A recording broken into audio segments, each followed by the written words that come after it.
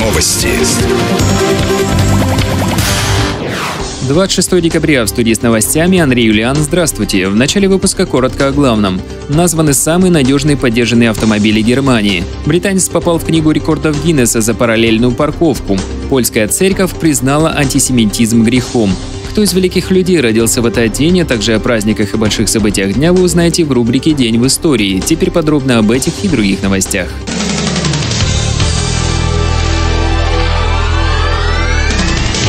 Компания Decra опубликовала рейтинг самых надежных поддержанных авто. Лучшим во всех классах признан Mercedes-Benz E-класс. В топ рейтинга попали также Audi Q5 и Mercedes-Benz GLK. В гольф-классе самыми надежными оказались Toyota Prius и Mazda 3.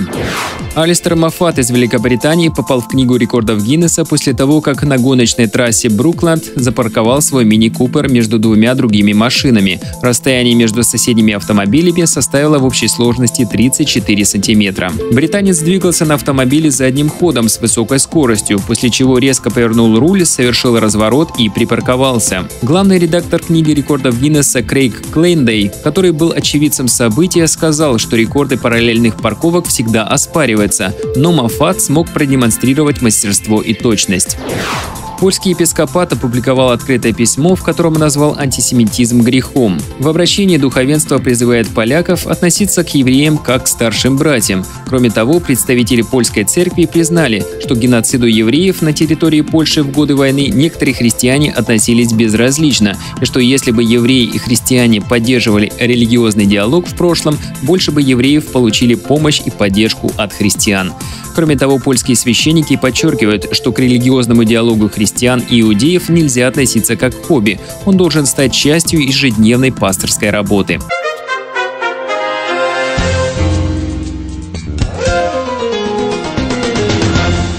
Радио «Вектор» поздравляет всех наших именинников – и в рубрике «День в истории» мы расскажем вам, кто из великих людей родился в этот день, а также какие важные события празднуются в мире сегодня.